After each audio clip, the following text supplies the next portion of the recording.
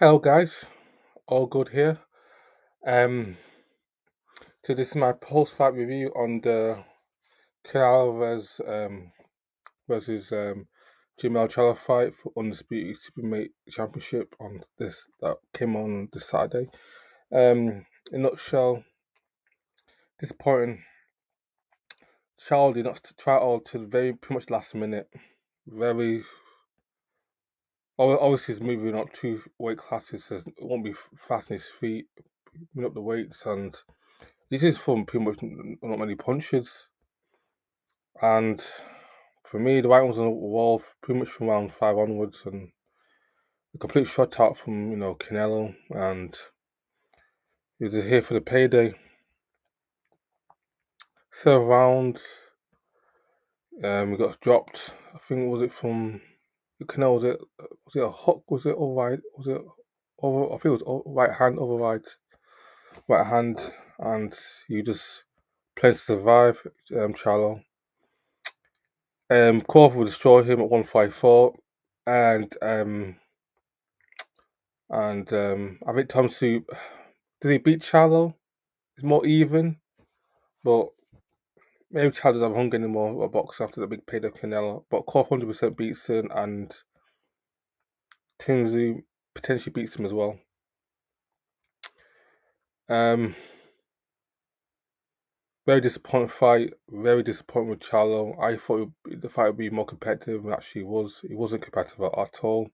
Only good thing is that Charlo got his payday, and he did get stopped and become an internet meme. But the footwork, worse, no, determination, not throwing. He just I don't know, fighting to survive more than anything. No dogging him. You fight your life and you want to prove you're the best.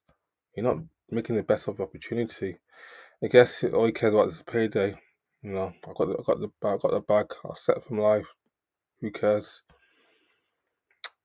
But I don't know. I just hope. Only thing I hope is that Canelo fights either Benavidez next. I think Benavidez will beat um, Demetrius Andrade come November, or if that's Morrell, Benavidez Morrell, because I think the two fighters are only challenge left for Canelo at 168.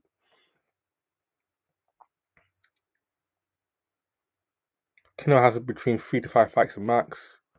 I think he'll fight Benavidez next. If Benavidez, you know, fights uh, um, beats Andrade, I think he will, I think he will beat Demetrius Andrade come November. All Mexican showdown come May next year. Him and Benavidez is the fact to make 168. I think it'd be toughest uh, challenge for Canelo since, um, or definitely since Bivol. Even though Benavidez has a has he been anyone of note apart from Caleb Plant, I just think Benavidez will. I've got a feeling it would be toughest fight since um, Bivol. I've got a feeling when the Benavidez will be the man to give Canelo that, that tough challenge he needs. Him and Morrell definitely. Crawford, that'd be a dream fight. Whether Crawford can handle that size and power of Canelo is another thing.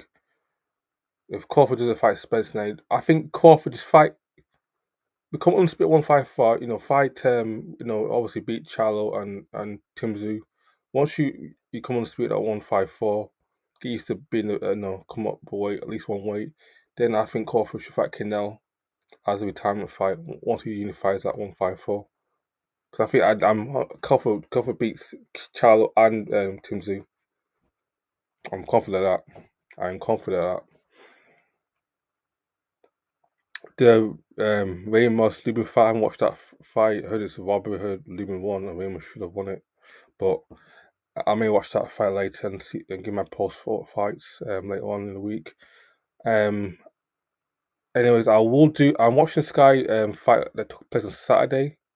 The Conor De Boer fight. I'm gonna watch probably after this video, and I'll do my Sky um, post fight review um, for boxing event tomorrow, sometime tomorrow.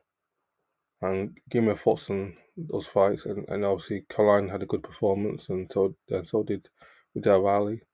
And Jerry KDB got his first um, loss, so I'll watch those fights and give my thoughts come tomorrow. Anyways, guys, thanks for listening. Um, comment, subscribe, guys. You take care. Have a good day.